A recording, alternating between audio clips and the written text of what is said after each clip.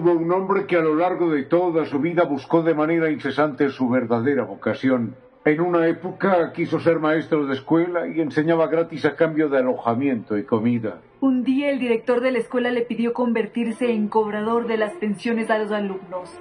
Entonces le respondió. Los niños son muy pobres, señor director. Comparto a veces con ellos mi comida para que no se desmayen en clase.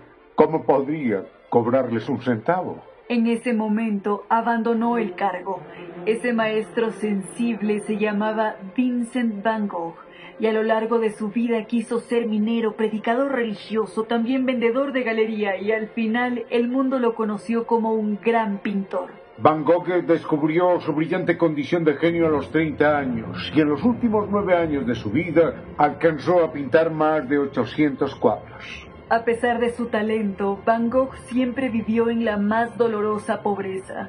Y esto parece una ironía imposible. Van Gogh vendió decenas de lienzos con sus obras para que otros pintores, repintando sobre ellos, los volvieran a utilizar.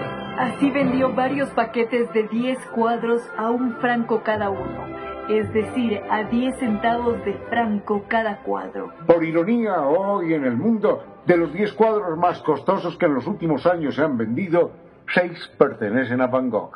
Van Gogh, además de gran genio de la pintura y de ser un hombre con vocación de santo, fue profeta a su manera.